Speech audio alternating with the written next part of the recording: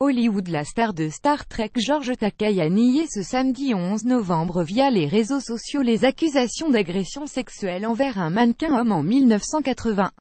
Dans une interview au Hollywood Reporter publiée vendredi, l'ancien mannequin et acteur Scott Brunton accuse George Takei, âgé de 80 ans, de l'avoir tripoté alors qu'il était inconscient, après avoir consommé de l'alcool chez l'acteur.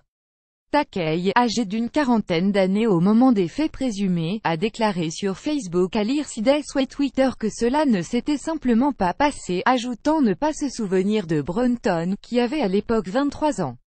Nous sommes actuellement dans une situation où ceste sa parole contre la mienne, dans une affaire qui se serait déroulée il y a 40 ans a déclaré Takei. Ceux qui me connaissent savent que les actes non consentistes contraires à mes valeurs, la simple idée que l'on m'accuse d'un tel acte m'est très douloureux.